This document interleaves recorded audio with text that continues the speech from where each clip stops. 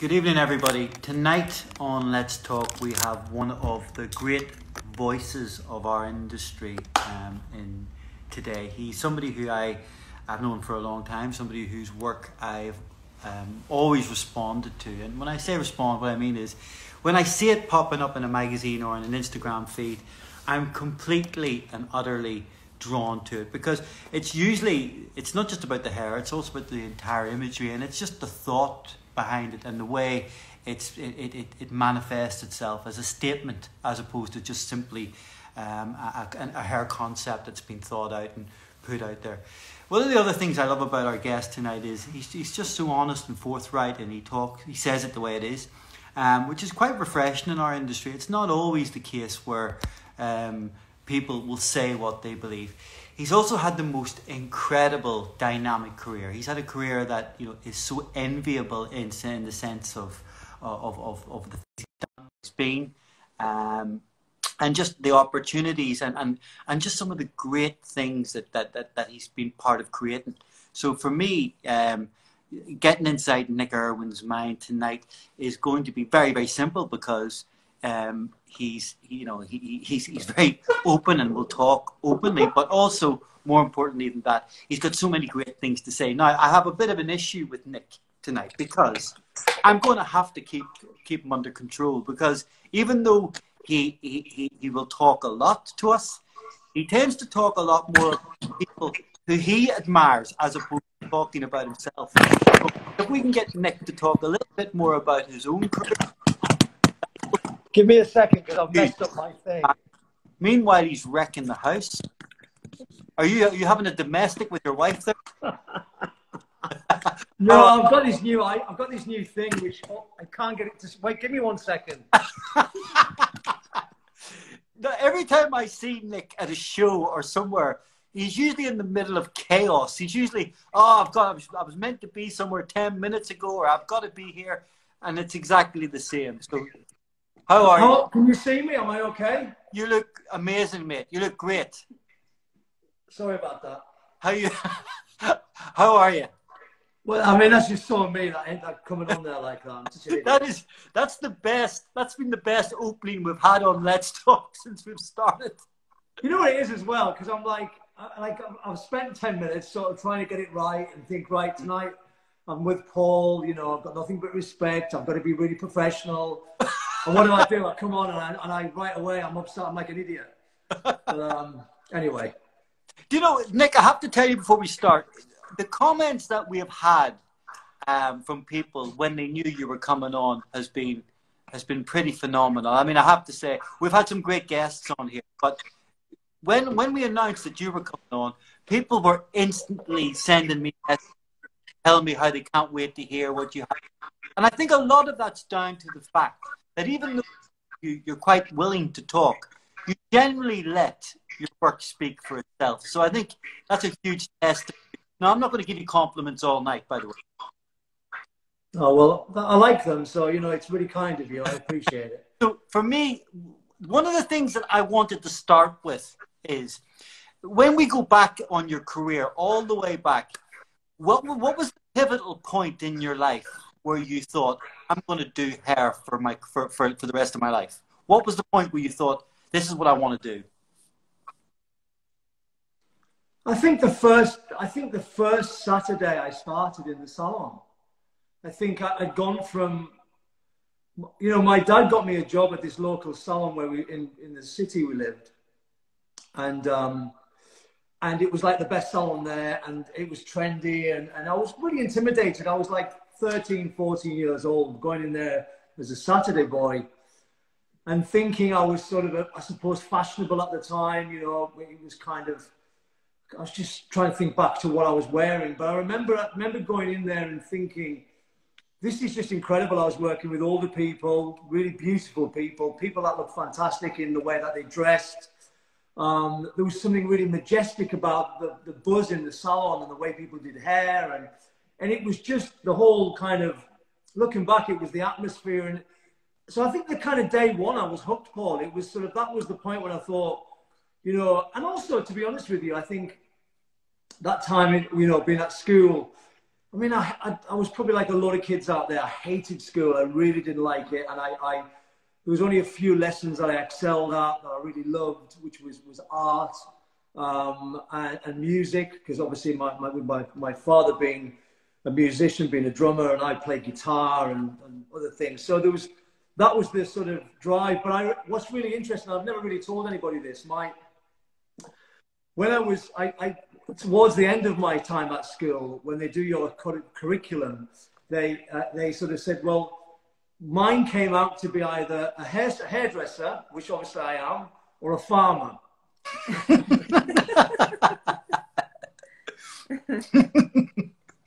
so, like, and what sort of agricultural uh, experience did you have to make them think that?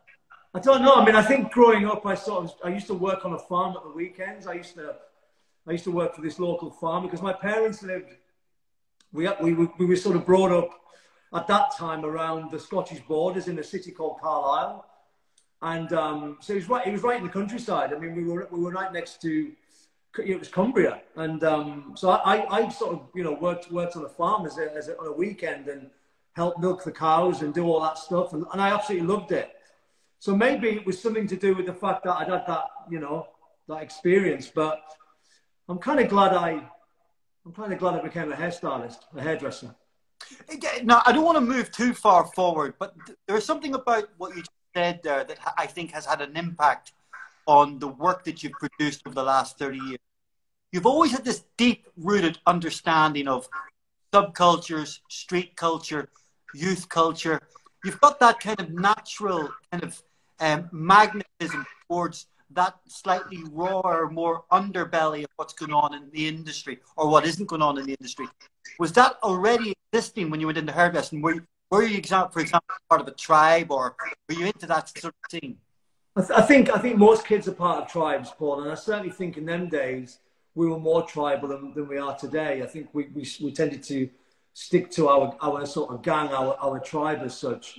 Um, I think tribe gets really overused now, and, and, and it's sort of a bit of a trendy word.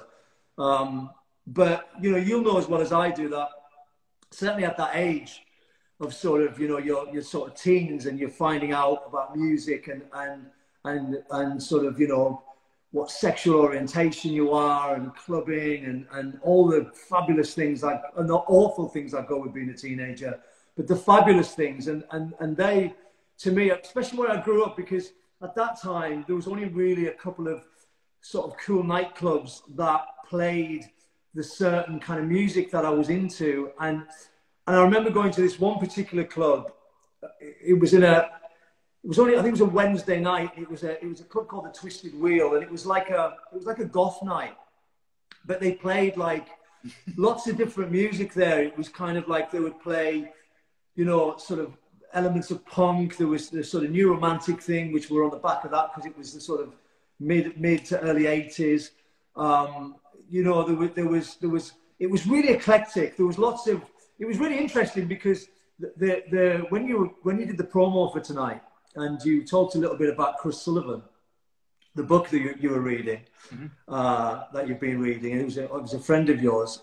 I was a huge fan of Blue, Mon, uh, Blue Rondo à la Turk that he was in and and there was a song, and I was trying to think about it. We spoke earlier, and um, and it was called Clacto V Sistine. I can't say the word. If you remember that, do you remember that track? Yeah, of course, yeah. Well, that that that was a real. They they were the types of they were the tracks that were being played at the time, and I think there was a there was this real eclectic thing of kind of the way people were dressing. I I can't really say I, I belong to punk or sort of you know a mod or, or whatever it was that was happening, you know, skinheads, you know, any of that stuff. I, I kind of think when I, it was, it was sort of mid 80s, so it was kind of like we were influenced by the new romantics to an extent, but I think we slightly dressed a bit more, slightly tougher version up north. We didn't, I think, you know, I, I tried to get away with wearing makeup and, and, and, you know, ended up being on the wrong side of a fist a few times uh, because it was a tough town where we came from. It was it was all about that, and and um, but you know you persevere, and it, it, was it was special, and and I think the hairdressing sort of salon at the time. I, I, used to hang with this this this guy Chris. Uh, who was a, gay guy who who really sort of I was quite sort of I was obsessed with him and probably like a lot of maybe boys out there, maybe boys don't always admit this, but I'm, I'm quite honest about this stuff. I, I, think there's a point where I was I probably wasn't sure whether I was straight or gay mm-hmm. because I was so into the way he was, the way he dressed, um, the, the clothes, you know, the, the way he did hair, the music he was into. Um, but then, you know, but then obviously, you know, I realised what what um, what my sexual preference was when I when I got my first girlfriend. But but yeah, so I think I think going back to that question is that that is definitely I think a part of a lot of our you know growing up as teenagers. It's that you draw on those subcultures, and I think I've always sort of kept it in the back of my mind that I think coming from that part of the world and feeling a little bit isolated from say cities like London or Manchester uh, you know, that I was really heavily influenced, obviously, from music and, and, and obviously the States, but, but more from, from the British culture. Um, and I think throughout my career, I've always tried, uh, I suppose, really to tap into that stuff and to always, and to always, because I think it can be a little bit cliche. I think we talked about this earlier. I don't always sound like nostalgic because I'm, I'm sort of getting older now, but I think you, you can't help uh, sort of draw on those references and, and, and pay homage to them as you, as you become more, um, as you, as you become more knowledgeable, as you become more, more experienced in what you do. Yeah. I mean, I think, you know, uh, you know, to just roll it back a little bit, I mean, for, for me, uh, being in Belfast at the time, London literally was the epicenter of everything that we do. We thought, we thought if it wasn't in the face or the ID magazine, it wasn't important. That's right and you know, and I, I, was always drawn to London. But when you go back to what you, what where you were, in Carlisle and stuff, was the draw to get to London to work uh, from a very early stage, or did yeah. you, I'll pop up and down there, but this is where I'm going to be for the rest of my life. I think it was my first my first visit initially with the salon. We went to the event that used to be at the G-Mex in Manchester and I remember seeing, I remember seeing Simon Forbes and Antenna on their stand. And I remember seeing them do a show and it kind of blew my mind.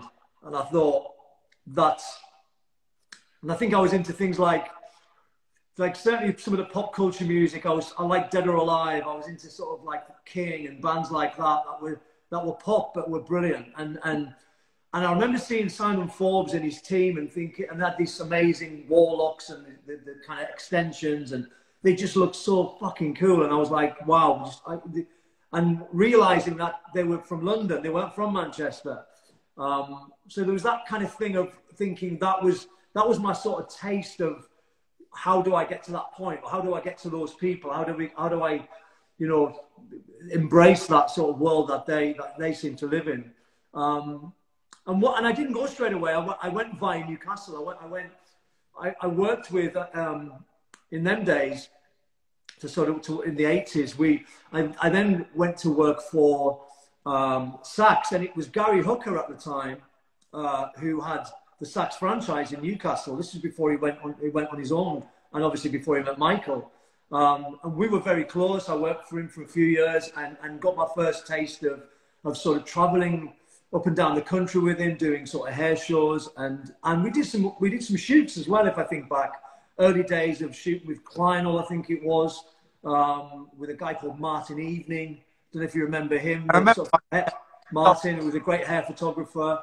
Uh, we worked with Harold Leighton, um, stuff like that, and that was that. So that was exciting, and and, and and then it was, Gary will tell you this if you ever speak to him, you know, I, I sort of then was, was starting to get obsessed with Anthony Mascolo. I was sort of, we'd been to Salon International and uh, I remember them doing, and I, I think it was 88 maybe, and they did this thing which was all, they were all in Katharine Hamnett, the models, and they brought these, I remember it like it was yesterday. They had these sort of, they were almost like um, these screens that were on wheels that they brought on. I suppose a little bit like um, what's those things you make when you're a kid with wheels on?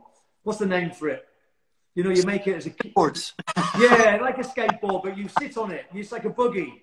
There's a, I don't know what they called them in, in Northern Ireland, but anyway, it was almost like a pram type sort of thing. But anyway, they, and I remember them projecting images onto it, and I and doing the coolest haircuts, and I, and the the way that they dressed, and so that was it. That was kind of like a bit of a fascination to then try and work towards joining Toni and Guy, and and and being with somebody like you know trying to get well to, as close to Anthony as, as possible.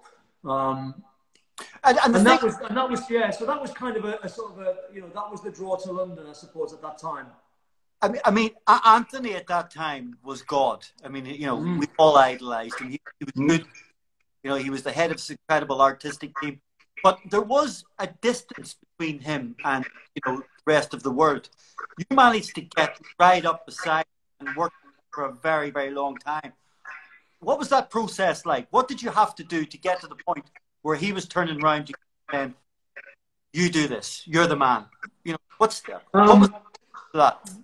I mean, Anthony's a very, Anthony's very, um, he's an incredible, he's like the Pied Piper, Anthony. He's got a great, he sort of spots talent, he, he nurtures it, he, he kind of feeds off, he surrounds himself with talent, he surrounds himself with really talented people, whether, not just hairstylists either, that in all walks of life, he, he has a great sort of a, a, sort of media group of people that he's close to that are all excelling what they do. And um, I think really was probably, I, I, remember doing a show in Australia.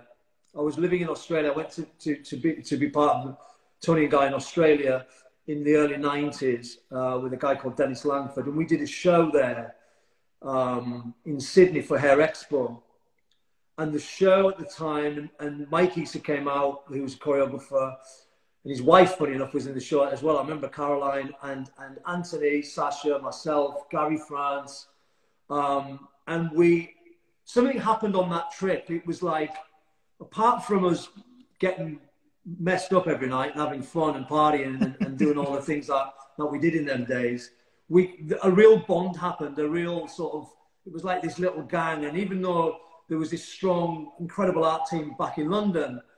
There, there was something happened, and and and and and, and also I think you know the the I think because I did an interview the other day and I talked about this. I sort of said you know you should find a mentor or find somebody you idolize and copy them and try and be them because if you do that, there's a fine chance that you'll get if you get close to that, at least you'll have some kind of you know contentment in what you do and, and what you produce. And I think that was really my goal. It wasn't ever, I mean, I wasn't a stalker or anything stupid like that where I was, I was just respectful like any other hairdresser. I'm probably a cheeky little bastard as well and, and, and cocky, you know, as you can, as, as people that know me, I, I, you know, that's, I'm not scared of, of sort of, you know, speaking my mind, but so I think all of those traits he liked. And, and I think obviously coupled with the fact that I could do, I could do, you know, good hair, um, you know, without sounding, without sort of blowing my own trumpet. And, and, and very much there was an aesthetic at Toni and Guy then. And I think you either,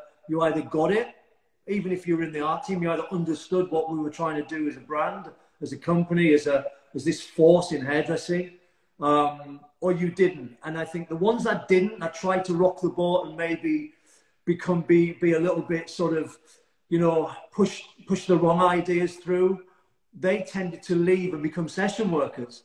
Um, you know, there were some great people at that stable. I mean, obviously Guido was part of that whole thing early on in the, in the sort of, you know, the, in, well, the, certainly in the mid 90s. Uh, and a lot of the art team used to go and assist him and do shows. And so that was very influential. But a lot of guys left, you know, Malcolm, Ed, Malcolm, um, Edwards. Malcolm Edwards was there, Alan Pichon. Uh, there was some super, uh, Paul Hanlon, who's, who's a brilliant hairstylist, and he's one yeah. of the new when I say new, he's, he's you know compared to some of us older guys, he's the one that's really killing it out there as well for, for his age. Um, I love what Paul does, and and so yeah, so, there, so it was a hotbed of talent, and I, and I think you know going back to sort of working with, with Anthony, I think when I returned to London, um, we that was where the sort of the, the, I don't want to call it a partnership, but the, the friendship really started to kind of happen. Well, and we became super close it was a collaboration because, and I want to wind it back a little bit because I, I want to refresh your memory. First of all, the Toni and Guy art team at that time were, were probably the most progressive of all the art teams in the world. Not only were they doing the strongest, most innovative, most exciting work, but every single individual in that team was recognized by name and they looked amazing. The team looked amazing. And the one thing that I always yeah. remember watching you guys at Salon International was that you all had an identity. They weren't zone up to that point. Our teams all looked like each other. Where you yeah. guys all had your own look, and people recognize you by name. Say, "There's Nick. There's Amy. There's Gary." Yeah, you know? yeah. But it was a rock and roll lifestyle. Well, I mean, what? Explain. Try to sort of quantify what that was like living that life. Well, well, I think you know it, it was sort of. I mean, and everybody that was in it, in it was, was doing it. I mean, it was, it was. I mean, we talked about this a little bit earlier. It was kind of, you know, the back end of Britpop. You know, it was all that stuff going on. You know, it was very hedonistic. London was thriving. It was fired up again. There was, there was obviously the the, the sort of dancing culture. On the back of that, there was then the all these places opening up, like the Atlantic and, and the Met Bar, and and all these where where you could go and hang out with like you know I don't know that you could be there one night and you'd be next to Liam Gallagher and it was just it was just madness and it and it so you it, it, sort of rubbed off on you and and also there was the sort of the, the, the stuff that went with it the, you know the partying and and and uh, and and everybody did it. I mean you know if you know I'm, I mean I'm not going to name names but it was part of it fueled what we were doing Paul. I mean uh, and and but one thing that I'll say, and I'll, I'll never glamorize that stuff because what we what it did do, I think we always knew there was a line, there was a fine line where you knew not to cross it in terms of the work came first. The work was so important. We were so obsessed with what we were doing. Mm-hmm. We were always about pushing it, pushing the envelope. So, so that, that element of obsessiveness and and not and scared to fuck up pardon my pardon my language, that you you you know you didn't you didn't go past you didn't go overboard and, and I think you kept it you kept it together. I mean it was a rocky road, don't get me wrong, you know, there was times when, you know, you would get on a stage and you hadn't been to bed from the night mm-hmm. before. But but I don't think it ever came across like that because we were so driven and we were so passionate and it was a it was a really powerful time. Yeah. I mean, I think the, the, the exciting thing for us was it was something to emulate you know, uh, being in Belfast and building salons and teams, we used to look at the art team take to the stage at the British Hairdressing Awards, and everyone would sick with envy because they looked like the coolest, most in it people. They, they, you know, they had the look and the work you guys were producing.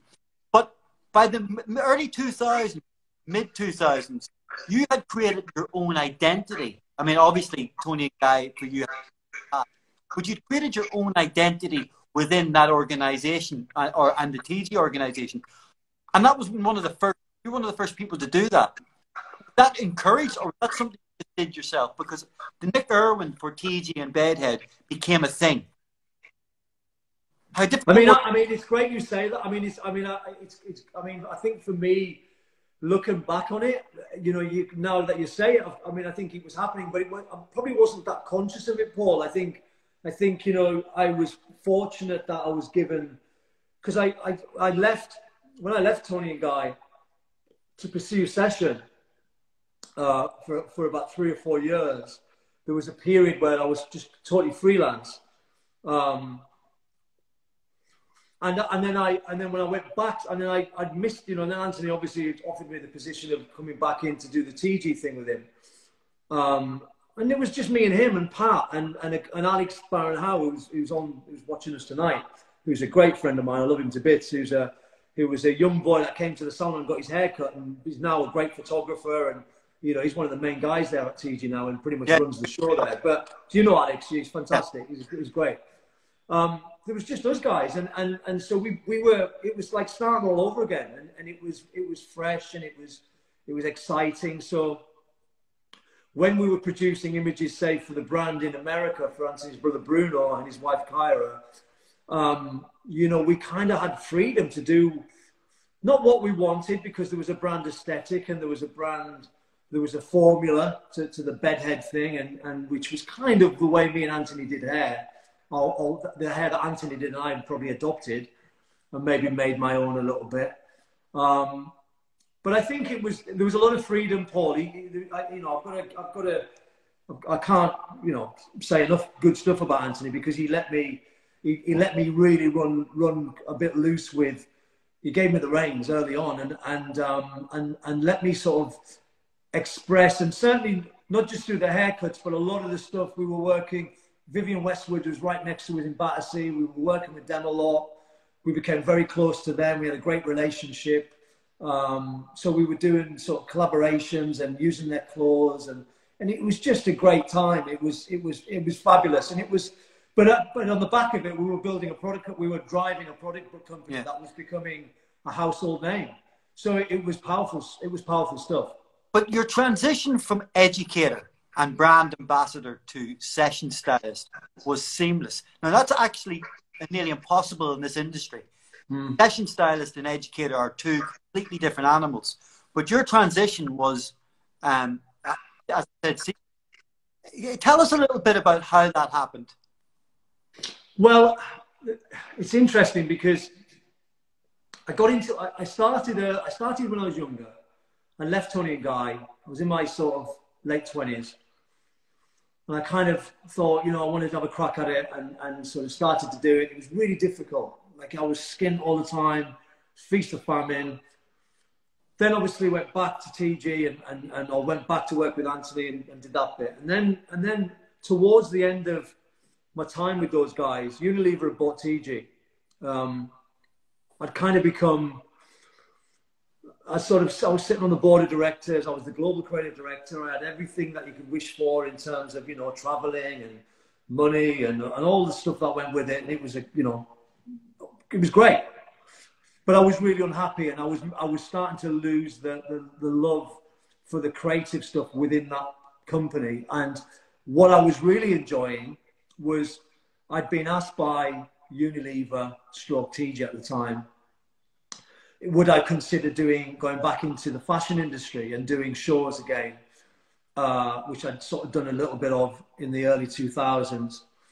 And I was like, yeah, you know, we were we were also sponsoring other people. We were like Paul Hanlon and other great, you know, Anthony Turner and other people. But I think for me at the time, being the global creative director of the brand, and you know, we felt it was like we had a brand called Catwalks. It was like a, it was a no-brainer that we went out and, and did it ourselves and, and motivated our own people and made it more authentic. And so while that was all happening, and we were doing, you know, 18 shows a season, you know, from New York to London, etc uh, we one of the designers I worked with in London happened to be shooting for the first or second issue of Hunger magazine, um, and Rankin, who I knew I'd known for since the 90s, we'd done some work with him in the, in the sort of late 90s, and he'd become a good friend of Anthony's and and stuff. Um, he he, um, I went, I went and did the hair for the for the shoot, and we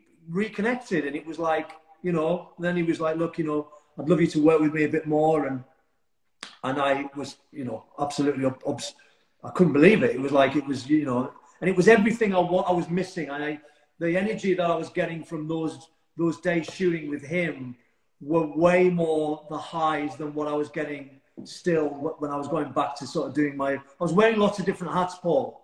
I was sitting on a board. I was running. I, I, was traveling all over the world. I was doing shows. I was doing seminars. I, I, had you know a huge team underneath me. It was it was it was fab. I had Anthony, who was obviously consulting at the time to the company after selling it. Um, but so there was all this pressure. It, it, was it was crazy, and and I think the, the, sort of creativity and, and the, the the the draw, the, the passion, the love, the, all those things that I've been you know talking about really came out when I worked with Rankin, and and and and I think all the things that I sort of tried to do, whether it was for for the brands that I was working with, I was doing it for real. Does that make sense? I was it was like the real deal, and and I think to get to get the sort of you know to get that recognition, all I wanted to do, I didn't care about anybody else. All I wanted to do was Rankin to to approve what I was doing. If I had his approval, after being such a, again, a massive fan from a young age of, of buying Dazed right at the very, very, very beginning and pretty much have all of every single copy in the house still. I mean, I'm, you know, obsessive about stuff like that. Um, so to have him there and, and sort of, and then creating this sort of friendship and this, this creative thing that we, that he, and he was a bit, I suppose, in a way there was similarities with Anthony, where he was letting me do things, and I was starting to develop my own style with it. And and you know, one thing with him, he, he, he would always, and he still says this to me now after all those years, is like, he's, you know, he, he always says to me, "Do not do Toni and Guy hair for me on these shoots." I don't want to say it. and that's no disrespect to Toni and Guy or TG or anything like that, because there's a different aesthetic, there's a different type of hair that gets well, done. Let me stop you there, Nick, because I wanted to speak to you about that very specifically. Because the, the, the distinguishing point in your career where people took notice of you was things like obviously Dazed Hunger magazine, where they seen this side of you that they could never have seen before. And that the most interesting aspect of your career because it's a little bit like Elvis stopping mid career and going, you know, I'm not doing rock and roll I'm I'm doing gospel. Gospel. It was that obvious. Where did where did that mindset come from? I mean, where, what, what point did you stop thinking salon, trade, industry? I'm going to step outside that. I, I'm, I'm, this is not industry. Um, I think I think what, get, when I was doing the shows again and working with designers and, and, and working around getting sort of that tapping into that aesthetic and that that those tiny details of things that just would go above most people's heads and learning or relearning that, reawakening that stuff that was in my head, going back to researching properly and researching. I'm not just talking about looking at a couple of hair magazines or, or you know, getting turned on by a couple of fashion advertising campaigns you like. I'm talking about really researching and spending weeks and weeks and weeks on diving deep into subjects and, and learning about the historical element of it and, and how it where it, that comes from and so all of that stuff and i think you know and, and the pressure of it you know the, the pressure of coming up with something that was that would that would excite what say rankin was doing with hunger at the time and still is, where the industry, I, think also, you know, being close, to, I mean, having a friendship with people like Eugene or, or, or, you know, those guys, or, you know, people like Paul Hanlon who I've gone, you know, is incredible, you know, brilliant hairdressers that I really admire, love what they do, you know, thinking, well, you know, if I'm doing hair, I've got it, I've got it, if I'm going to step outside that, the hair bubble as such, I've, I've got to be, I can't be doing I can't be doing that hair and them to take me seriously. Mm. Um, and, I, and I think I've got to be careful, Paul. I want, I want to just sort of, because with anybody who listens to this, and, you know, I've got nothing but, and I'll always, you know me really well, I, I've got nothing but admiration for everybody I've ever worked with, and I, I respect them immensely when it comes to hair. Um, and I, you know, I love Sasha, I love Toni and Guy, I love, I love everything that they're, they're right on the pulse of what's going on with their, with their, with their sort of connection to the fashion world. So I'm, I'm certainly not putting any of that down. What I'm talking about is that formulation of what the way we were educating and, and that sort of hairdressing picture of, you know, this is your shot, it's kind of head on. Um, you've got that much, fr- you know, frame round the round the head. It's, it's all it's like the like what you see when you go to judge the competition. I mean, yeah. it's changing, but it's that formulated stuff. And I think to try and just come out of that and do things like an emoji head yeah. and take the piss out myself a little bit and do something where you're shooting the back of the head and people go, well, that's not a hairstyle. And people are ringing me up going, you've lost the plot, mate. Why are you doing that shit? but and I, get, and I still get it, Paul. I yeah, it. Get go, the, the interesting thing about all this, the exciting stuff is, and this is where I think people might miss the point, and, and I get what you're saying about your respect for Toni and Guy, and we all we all have a lot to thank them for. But what happened with you was all of a sudden the hair that you started to do started to say more about the people in the picture than just the haircut. And and, and going back to your emoji head, it's that tongue Banksy element of it, where people go, that's just beautifully executed, so witty, yet well done, and it's made me smile. That is an aesthetic that doesn't come everyone. And and for me, when I look at the type of hair you're talking about, that's the sort of thing that makes me excited about it. But it's a small part of the industry that you're part of, and yeah. it's very specialist. How difficult is it to get into that area you're now part of? I think it's really hard. I think I think it's it's um you, have got to be given. I, have kind of fast tracked it a little bit. I, in, in, and when I say fast tracked it, I've been hairdressing a long time, but I'm relatively new at the session game in terms. If you look at other people, if you look at other big hairstylists, that's you know they they've done it for you know 20, 30 years. I mean, I'm talking about session. Um, whereas you know I think I think I think a lot of it comes to do with it, with my my sort of knowledge and experience and and like I said to you earlier, just that sort of that thing of digging and and, and always trying to look at something and you know I I there's a great thing on and people some people might disagree with me here, but there's a great thing on Instagram called um uh um oh, it's, it's slipped my mind Prada. It's the um what's, what's it called on Instagram? And it's basically they give their view. They, they, they kind of look at when you've sort of copied somebody or their Diet Prada. Diet Prada. I don't know if you follow them, Paul. Do you no, follow them? You should have a look at their account, right? And they've done some really interesting stuff over the last few days, especially with everything that's been going on with uh, with all the race, you know, the race situation around the world. But what's interesting with that is that I, I've got this paranoia of somebody find like calling me out of saying you've copied that.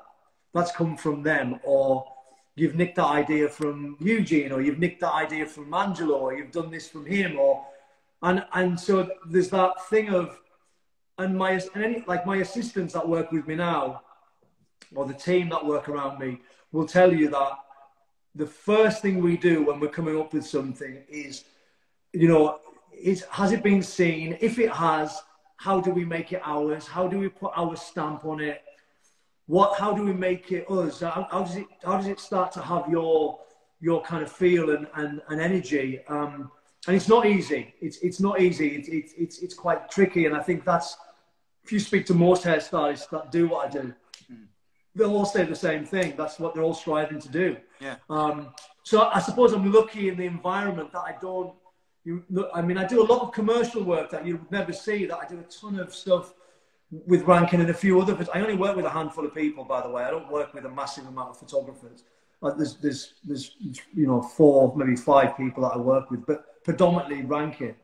Um, but say, for instance, you know, I do a lot of advertising for brands, so I have to do very um, sort of, you know, hair that's very commercial sometimes. Um, so the, I can't always do the the emoji stuff. I mean, that's a that's these are for like you know the, the sort of moments when I'm doing a hair story for maybe hunger or or it's something like that. But um, but I think there that's the time when you've really got to try and get it right, Paul. You've got to you're given that platform, so it's like you're only going to get one crack at it, and yeah. and and I think this day and age, you're on. You're, we're we're all unsure. Every day we do what we do, like what we're doing now, mm. what we're saying, what we're putting on Instagram, the way that we're communicating. You, you, it's not like it used to be where somebody could say, "Oh yeah, I know Chris Sullivan, and I did this, and I partied with him, and I went to that club." And did. people know that you they can find out super quick. That's right. So you can't. So you have to be. So it's the same with the hair thing. You know, we have to be. You have to do something that, you know, and I might get an idea. I might look at, you know, I don't know. I might look at what Eugene's done for my genre and think, fucking hell, I wish I'd thought of that. Or I love that bit he's done there with the colour. How do I get that into what I'm doing? And, and but then I know when I do it, even yeah. if I try and copy it, it's going to not look like his. It's going to be something else. But plagiarism, which is what you're talking about, is something in our industry that, that people do get they do get pulled up on it now. You know, it, it, it's not like the old days where people will just accept, well, that's a version of Toni and Guy haircut people will say, yeah, but you didn't, Angelo did that first, or Eugene did it. Yeah. yeah. The, the, the thing that I feel in your field, the originality doesn't have the rules that the industry has. You, you, you literally do what you want within reason because actually the, the scale of creativity and, and opportunity are more wider. Do you find that that's good for you or do you find that more restrictive? There's more pressure on you because there's more expectation. I think it. I think it depends which way you look at it. If you look at it from the hair industry, I think I think I don't have to rely on, you know, I don't have to rely on trying to win the British or, or, or, or one of the categories. Well, that's what I mean. To, to profile me because it, I don't really, I think when I left TG, I sort of consciously made an effort to sort of not turn my back on the hairdressing industry by any means. I, I just, I wanted a break. I wanted to just solely work on the session thing and not, and kind of almost sit under the radar so now it's about the balance between that and what I do in the hair industry, which I'm sure we'll come to. Um, so I, I, think, but when but when it comes to all my fashion peers and the people that I work around, um, that are critical beyond belief, like you you you you you make you put a foot out of line or you do something that's even not the aesthetic that they they'll just rip you apart. Mm. So there's always that. I mean, it's funny. I have this conversation with Ellie, my assistant, all the time because she's she's going through that transition at the moment where I'm sort of I call it de de hairdressing, de, de hairdressing-fying her, mm. defying her hairdressing or whatever way you want to look at it. What I mean by that is to take and taking that salon thing away from her, looking at hair that rather than it just being a hairstyle, it's about it's beyond that, and it's about it, it becoming part of the story, and, and, it, and it becomes it has a narrative to it, and it has a it has a, a reference which is could be super subtle, could be just something about the hairline, Paul. Could be it could be the way that you've curled the hair. It could be it could be just you know the way that even even a, a simple ponytail, but it's where it's placed. Yeah. And and just all of those things that go with it, which a lot of hairdressers will probably look at and go, "Oh, it's boring. It's not really for me," because they're very they're in this sort of, and I get it. You know, I get it because that's the way that a lot of the hairdressing industry is. Um, so I, and I really admire that part as well. I admire the awards, I admire all the work and the effort and the energy and all that stuff that goes into it. Mm. But I just, you have to, you have to use that mentality. You have to leave that mentality at the door when you walk into the studios that I walk into now mm. and think of it purely on a, on a, that you're there as part of a, a sort of a narrative that we're going to tell a story that day. And it's about everything from the nail right down to who that girl is, who's the woman, who's the story, who's the boy, who's the guy. Is it you know? It was. It's like it's it's all of it is going through your mind, and and and also, Paul. I think a lot of it is how you research. It's the research that you, the kind of, you know, the hours and hours and hours on end. I mean, my wife will tell you, you know, it's like my my evenings or, or, or time when I'm not shooting is I'm buried in in in, in the computer referencing and, and, you know, I mean, that's just part of it. So a few years ago, you, after what we've just been talking about and the fact that hairdressers are still orientated to winning awards and building Instagram accounts, you were invited to be a mentor to the FAME team at the fellowship. Now, for me, that was one of the most, um, one of those bravest things for the fellowship to do because first of all, you came from a different aspect of the industry, and that was going to give these kids. Um, that sounds a bit condescending. It was going to give these people an incredible opportunity to step outside the industry and see what's going on in the world uh, regards to fashion and, and working at a different level. But it wasn't going to make them into superstars like the normal formula would. How difficult was that for you to try to address those people? Um, well, I think that, I think the fellowship were looking. I think well, I say that. I think Bruno, who was the president at the time, sort of nabbed me at the hairdressing awards and was like, put me on the spot and said, "Look, do you want to do this? I think you'd be great for it." And I said to him, "Look, I'll do it on one condition. You got to you got to let me do it my way. You know, I can't. I don't. I can't. I can't come in because I'm not the celebrity style hairdresser. I'm not that guy that the, I, I, just don't have that. I'm, I'm not that person, and and um, I might have a bit of a name, but I still think that nobody knows who I am. I mean, I'm not. I don't really. I'm just that type of character. I don't, you know. Um, so I, and he was like, "Look, absolutely, that's what we want you to do. Be amazing." So it was really when I came home, and I remember speaking to Stacey, my wife, and we, I said, "Look, you know, how do I do it? I want to get them in front of my session friends to mentor them. I want to." do things that are related to what I do now as a hairdresser. I want to try and get Rankin to shoot their camp, their pictures for them because they get to do a shoot. We have a bit of a budget for a shoot. Um, certainly, the budget certainly isn't Rankin's fee. Let me tell you that he did me a huge. I mean, he did massive favour. I like pretty much did that shoot for free for me for three years for those kids. Um, and I've, and I, I, absolutely I owe him for the rest of my life. I mean, I, I adore him for it. It's so that's what that's what's so brilliant about him. But I think for me, Paul, it was looking at how can we give them something different. I didn't want the four of them by the end of that year to look back on it and think I'm just going to go back to what I was doing before. I wanted to even if even if even if I challenged them and made them feel uncomfortable and put them in situations where they, they probably didn't really want to do it, it it's an experience that they'll never forget. Mm-hmm. Um, and you learn from your mistakes and you, so there was all of that stuff. The first year was, I felt really sorry for them because I got ill. Um, I, I, I, I sort of, I got this thing that, I mean, I found out I was diabetic in the November and then in January when I started working with the uh, Fame team. We were on a trip to Dubai and I got really sick. Didn't come out my hotel room. I ended up in hospital. Came back to London. Ended up sort of being ill for a few months. Um, and nearly, you know, I, I, mean, to the point where I could have died. I mean, looking back on it, it was crazy. Um, but so the kids went through this really weird.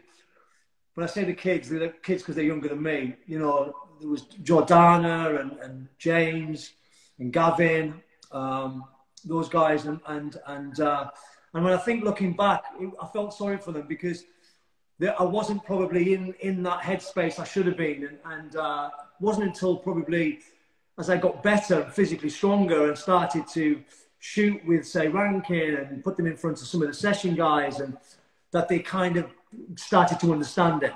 Mm by then it was the end of the year and we'd moved on. But I, I, think they enjoyed it. I think they enjoyed parts of it. There was we, we, there's a few bumps and scrapes along the way, um, but you know, it, it, was it was a learning curve. Yeah. The second year with the, with the Fame team was a game changer because I I got four of them that were well. I mean, Ellie now is my first assistant who was on there, Ellie Bond.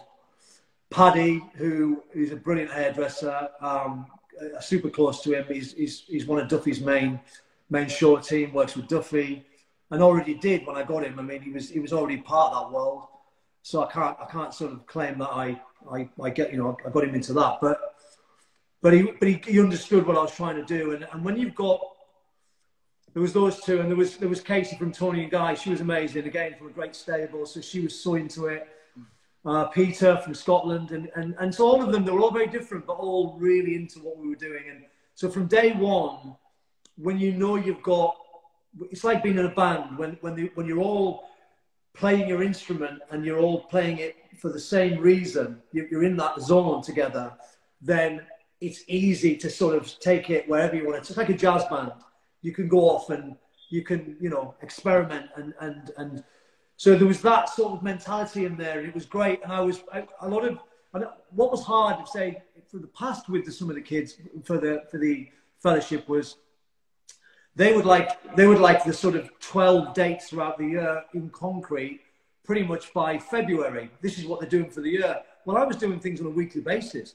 I would I would find out that right, I'm putting you in front of Rankin next week, or come and assist me on this shoot, or blah blah blah. And then I, and then to, to top it all off that, that year, which was amazing, I was I was spending quite a lot of time with Eugene, and and we'd I'd seen Eugene, and I said to him, look, you can tell me to fuck off, or you can you can give them five minutes, have a coffee with them, do whatever. I'd love I'd love you just to say hello to them.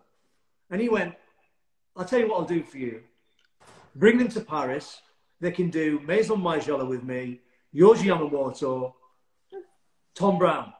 Wow. And I was like, and I mean, I've got hairs on my, on my arm sticking up now thinking of it.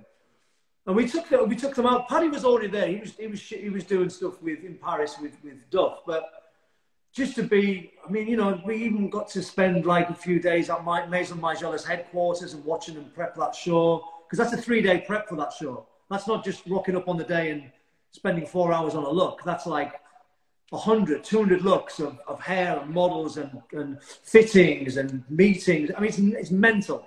It's, and it was one of the, it was a life changing experience for them. And, and so I think all of that stuff um, really it made me feel perhaps made me feel proud, Paul, because it was it was a I felt I'd really ticked off something that had never been done before. Well, um, and then and then they persuaded me, Paul. They persuaded me to do another year, which was last year, uh, and we were building our new, our new brand and all of that stuff.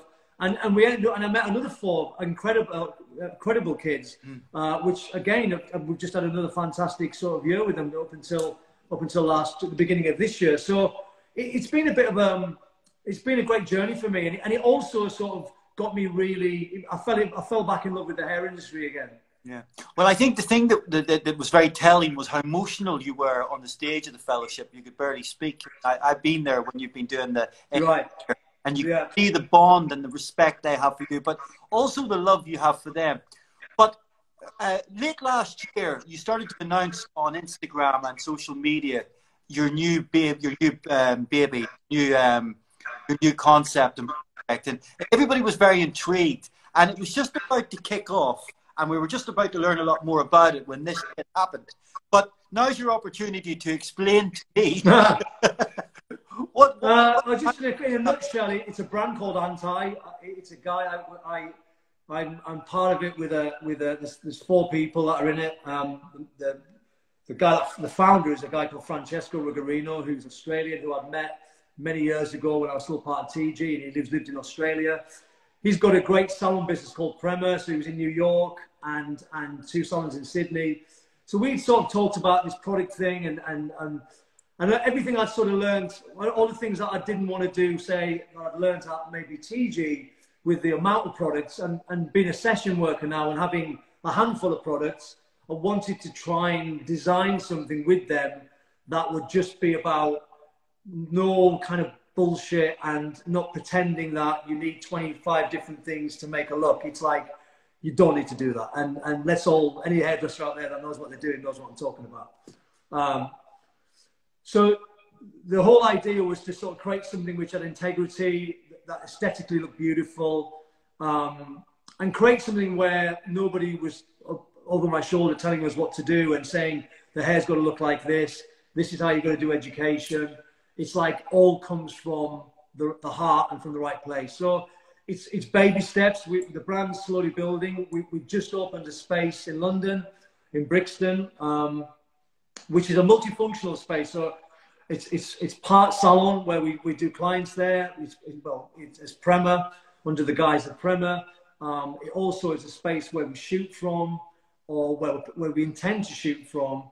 Uh, it's a seminar space. I mean, we spent, you know, it's, it's a great, we spent some, you know, a, a good amount on, on, on the setup, but it's very simple, honest space under the arches in Brixton. And Brixton, if you know Brixton, it's near where I live, Paul. So it's, it's kind of it's part of me again. It's like this is sort of where we where we hang out, where we do our shopping in the market, and it's very it's very colourful. It's very um, you know, it's not a it's not a there's nothing posh about it or sort of high end in any any way, but it's it's it's exactly who I'm about as a person. And um, but unfortunately, like I said to you today on the phone, it's like you know this this has happened. We've just opened. Corona's happened.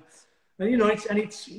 I'm like everybody else out there. I'm, I'm sort of praying that you know we can come out of this, you know, in a, in a good way and hopefully go back to it and build it and, and take it from there. Yeah, I think the thing that I loved about it was just the simplistic intrigue leading up to it. Having said that, it wasn't a bullshit thing. It was actually just, you know, we're just going to drop this and let it happen. Or yeah. Which well, is- I was lucky. I was lucky, Paul. I got I, I got Rankin shot the first campaign for me and, and really helped us with that. And those images, if anybody saw them, they were they were we wanted to do, I didn't want to do hairstyles. Mm. I wanted to do just beautiful pictures that we can hang in an art gallery. And that's what we did when we when we did our opening night for the brand when we when we launched it here. We just we, we used a white gallery and we hung the pictures. We lit them beautifully, and some great people came along and and we you know we and it was about just sort of sharing the emotion and the experience of, of what these images do. And it was a bit like going to an art gallery and and I'm not claiming that I'm an artist in, in any way. It's, it's, I'm not, I hate all that nonsense. Um, but they, but there's something special about them, and and and uh, and so that was our sort of our our kind of you know our little taste, if you like, to the industry. Um, and then and then the, the thing that I'm really proud of is what we did, what we've just launched at the moment. I don't know if you've seen it on Insta, uh, which is the kids that we shot in New York. Um, we shot it last September, and there were these through through one of the one of the young hairstylists that works for us in New York. A girl called Cheeky. Her, her she had these most incredible friends, and I'd said to Frank, "I want to shoot them. We've got to shoot these kids. They're they're so on it. They're like they they they're just so inspiring, and it's like they're the, they're the it's the new now. It's like and it's everything you'd want to be as a young sort of person out there, and they're they're politically aware they're, they're, you know, they're just, it's just everything about them is incredible. Anyway, so we've shot this thing, we interviewed it, Hunger Magazine, you know, put it up on their, on their space for us. And, and so, yeah, so I'm proud of that. Because, and it's not necessarily about, it's not necessarily about hair, Paul. Mm. It's about telling a, it's a narrative, it's a story. It's about getting people looking at it and going, this, is, these are inspiring and, and just sharing my love and passion for what we're doing the very reason that I wanted to speak to you was about the stories you tell through the work you do. And obviously, we could go on all night talking about it. Unfortunately, Nick, we're coming to the end of the conversation. I knew it was going wow, that went quick. I have to say this to you. While we've been talking, the comments that have been coming in and, and the love that people have for you and what you've done is phenomenal. And I have to say, the passion comes through. It's very, very we absolutely love what you've been doing. I can't wait to see what the future, and not just the future for Nick Irwin is, but also the future for your brand. I can't wait to see this. I also want to invite you to come back on here and talk again time because anytime we did not hear enough. And, anytime, Paul. And I, I, think I asked you two questions and you gave me two answers, and both of them lasted 50 minutes each. I'm sorry. I apologise. I, I hope it's been okay for you. Listen, mate, we have to have you back on. Thanks for your time give my regards to everybody. I really appreciate you and good luck with everything. Thank you so much, Paul, and thanks everybody for tuning in. It's, it's been fun. I've loved it. Thank you. Take care. Stay safe.